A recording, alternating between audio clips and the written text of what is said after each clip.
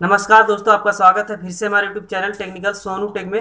मैं हूँ सोनू फ्रेंड्स और आज मैं बताऊँगा आप लोग को कि मोटर की फिटिंग बाथरूम की फिटिंग और टैंक की पूरी फिटिंग दिखाऊँगा इस वीडियो में। तो फ्रेंड्स, अगर आप हमारे चैनल पर पहली बार विज़िट किए हैं तो चैनल को सब्सक्राइब कर लीजिए। सब्सक्राइब करने के बाद बेल आइकन को प्रेस कर दीजिए, ताकि जब भी मैं वीडियो डालूं तो वीडियो का नोटिफिकेशन आपको मिले और आप उसे देख पाए। ठीक है? तो चलिए तो फ्रेंड्स, ये जो दिखाई दे रहा है, ये बाथरूम वाला एरिया है। यहीं से शुरू करता हूँ मैं, ठीक है फ्रेंड्स?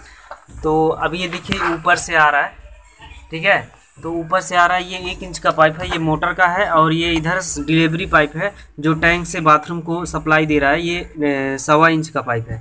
ठीक है फ्रेंड्स? तो अब सवा इंच से एक इंच किया हूँ मैं। देखिए, ये पूरी पाइप जो बाथरूम है उसका पूरा वायरिंग मैं इसमें एक इंच से किया हूँ, ठीक है? क्योंकि जो हाइट है टैंक जहाँ रखना है तो वो फेंस इस फ्लोर से, जहाँ पे मैं खड़ा हूँ, इस फ्लोर से पंद्रह फीट की हाइट पे है ठीक है? तो प्रेशर मेंटेन करने के लिए मैं ये जो डिलीवरी पाइप है, इसको, इसका जो गेज है, इसको मोटा लगाया हूँ, सवा इंच लगाया हूँ, ठीक है? नहीं तो क्या वो ये एक इंच हो जाता है और इधर पौना होता है, ज़्यादातर ऐसे ही होता है, ठीक है? जब जहाँ पे टैंक हाइट पे रहता है, लेकिन यहाँ हाइट कम इसलिए ये सवा इंच लगा है और सवा से यहाँ एक इंच लगाया हूँ मैं पूरा, देख सकते हैं। तो देखिए, ये मोटर का है, ये टैंक का है, यहाँ ओवरबैंड लगाया हूँ मैं, क्योंकि पाइप के ऊपर पाइप जहाँ चढ़ता है, वहाँ ये ओवरबैंड लगाया जाता है। और ये टी है एक इंच का, फिर यहाँ रिड्यूस हुआ है वन बाई थ्री फोर हुआ है। और यहाँ से देखिए, यहाँ आ रहा है पौना और ये प्रिंस स्मार्ट फिट का पाइप है एच डी आर ग्यारह क्लास वन का। ठीक है? देखिए, यहाँ पे आ रहा है एक, इधर। यहाँ पे दिया हूँ मैं एक टैप लगाना है, यहाँ पे। देख सकते हैं। और फिर एक ओवरबैंड यहाँ भी दिया हूँ मैं। यहाँ भी पाइप के ऊपर पाइप, ये जो पॉइंट दिख रहा है, ये मोटर का है, ठीक है? ये मोटर वाला पाइप है, एक इंच का है, ठीक है? तो इसलिए पाइप के ऊपर पाइप चढ़ रहा था तो यहाँ ओवरमैन लगाया हूँ। और जो ये वाला है फेंस ये हमारा टैंक का है, ठीक है? तो यहाँ मैं मिक्सर का पॉइंट बनाया हूँ। तो ये जो टैंक का है फेंस और ये जो है ये टैंक का है फ्रेंड्स और ये गीजर का है हॉट वाटर का। ये कोल्ड वाटर का हॉट वाटर का। जो कोल्ड वाटर होता होता है, वो राइट होता है, और जो हॉट वाटर होता है फ्रेंड्स वो लेफ़्ट में रहता है हमेशा, ठीक है? तो और जो इसका डिस्टेंस है हॉट वाटर से कोल्ड वाटर का, ठीक है? ये साढ़े सात इंच रखना है मिक्सर के लिए। साढ़े सात इंच रखेंगे तो इसमें जो शॉर्ट मिक्सर होगा लॉन्ग मिक्सर होगा, दोनों फिक्स होगा, ठीक है? और सात से अगर कम रखेंगे फिर छः या साढ़े छः रखते हैं तो सिर्फ़ उसमें फिर उसमें क्या होगा, सिर्फ़ छोटा मिक्सर ही फिक्स हो पाएगा लॉन्ग वाला मिक्सर नहीं हो पाएगा। तो कम से कम जो है मिनिमम जो है इसका साढ़े सात इंच रखेंगे तो चाहे छोटा हो या लॉन्ग हो, दोनों फिक्स फिक्स हो जाएगा। ठीक है? और जो इसका हाइट है फ्रेंड्स मिक्सर का फ्लोर से फ्लोर से इसका जो है मैक्सिमम तीस इंच बहुत है, तीस इंच रखना है, तीस से नीचे रखेंगे तो भी चलेगा। ठीक है? और ये सावर का है तो सावर का जो मैक्सिमम हाइट है, इसमें मैं सात फीट दिया हूँ। मिनिमम साढ़े छः होता है और मैक्सिमम साढ़े सात तक दे सकते हैं। ठीक है? तो देखिए ये ये जो मोटर का है, ये मोटर का हो गया। मोटर का इसलिए दिया गया फ्रेंड्स क्योंकि जो ठंडी में ठंडी में क्या होता है कि टैंक का पानी जो होता है, बहुत ही ठंडा होता है, नहाने में दिक्कत होता है। और गर्मी में भी वही दिक्कत होता है, गर्मी में पानी गर्म हो जाता है तो भी नहाने में दिक्कत होता है। तो ये नेचुरल है फ्रेंड्स ठंडी में गर्म होगा।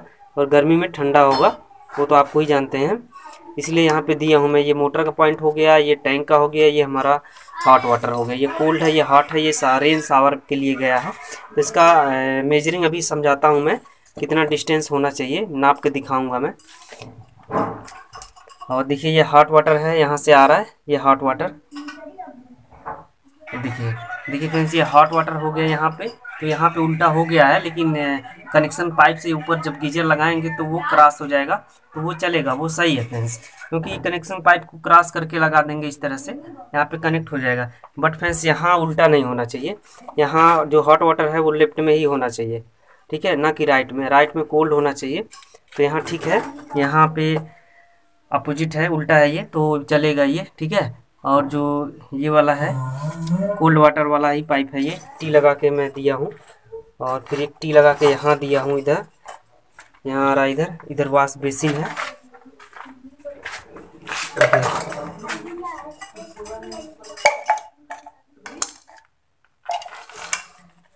तो यहाँ एक वाश बेसिन आएगा, ठीक है? एरिया भी पेडेस्टल वाश बेसिन लगाने लायक है। तो यहाँ पेडेस्टल वाश बेसिन लगेगा। वॉश बेसिन कैसे लगता है? इसका वीडियो है मेरे चैनल पे। विज़िट करके देख सकते हैं, ठीक है? तो अब ये उधर से आ रहा है। ये नीचे वाला मोटर का है, ये टैंक का है, ये जो है फ्लस का है फ्रेंड्स, आउटर फ्लस का। यहाँ पे दिया नहीं गया है, यहाँ लगाऊँगा मैं। आउटर फ्लस सिस्टम बोलते हैं जिसको, बाहर से लगेगा। तो उसको कनेक्ट करने के लिए ये दिया हूँ मैं, ठीक है? और फिर यहाँ पे आ रहा है, देखिए। और फ्रेंड्स, लाइनिंग का ध्यान रखना है, लाइनिंग का विशेष ध्यान रखना है। आपको फिटिंग करने में आसानी रहती है, ज़्यादा घुमाना नहीं पड़ता है। तो सारा एक इंच का फिटिंग है। और देखिए, यहाँ पे आ गया। तो यहाँ देख सकते हैं, ये हमारा सीट है। तो यहाँ एक छोटा बाल्टी रखूँगा मैं फ्रेश होने के लिए। और एक ओवर बैंड, देखिए, वहाँ, यहाँ भी ओवर बैंड है। पाइप के ऊपर पाइप जो है, चढ़ रहा था तो वहाँ लगाया जाता है इसको। देख सकते हैं, किस तरह से आ रहा है। तो एक यहाँ पे टैप दिया हूँ मैं। टैप है यहाँ पे। टैंक का है, वो नीचे वाला ऊपर वाला टैंक का है, नीचे वाला मोटर का है। यहाँ देखिए, यहाँ पे इस एरिया में एक आर आएगा, ये वाटर प्योरीफायर। यहाँ कनेक्ट होगा इसमें। और ये देखिए, ये यहाँ पे मैं इंड कैप लगा के छोड़ा हूँ। ये टैंक का है, जो कि किचन का सप्लाई है। अभी आगे लेके जाना है इसको। और ये मोटर का है, ठीक है? साथ में मोटर भी बनाया हूँ, देखिए। ये मोटर है। मोटर का ये आउटपुट है। तो यहाँ पे दो बाल बाल लगाया हूँ मैं। ये यहाँ पे देखिए वन बाई थ्री फोर का है। कहीं पे ले जाने के लिए बाइक को धोने के लिए, ठीक है? और ये बाल बाल है टैंक के लिए। कि मतलब टैंक अगर हमारा फुल हो गया फिर तो इसको ये अभी ऑफ़ मोड में है तो इसको ऑफ़ रखेंगे और इसको ऑन करके कहीं पे ले जा सकते हैं पानी को, ठीक है?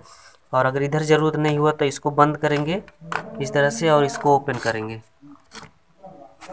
तो फिर इसका विशेष ध्यान रखना है, एक कंडीशन में दोनों बंद नहीं होना चाहिए, नहीं तो मोटर जलेगा ये, तुरंत जलेगा मोटर, ठीक है? तो एक को खुला रखना है, चाहे इसको खुला रखें या इसको खुला रखें, ठीक है?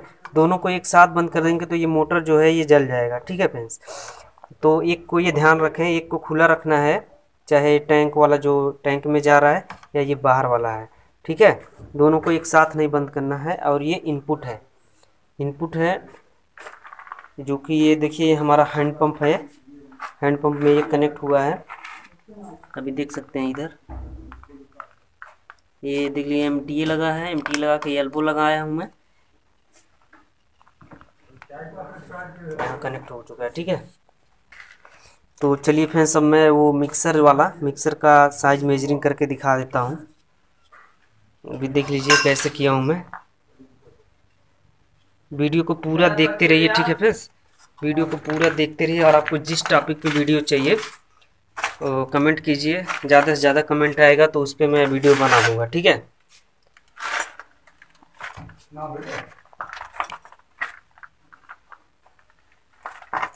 देखिए ये गीजर का है। ये मिक्सर का है। रेन सावर का है ये। ये जो सावर है सावर का जो पाइप है रेन सावर वाला तो देखिए, ये थ्री फोर का है और ये एक इंच का है, ठीक है?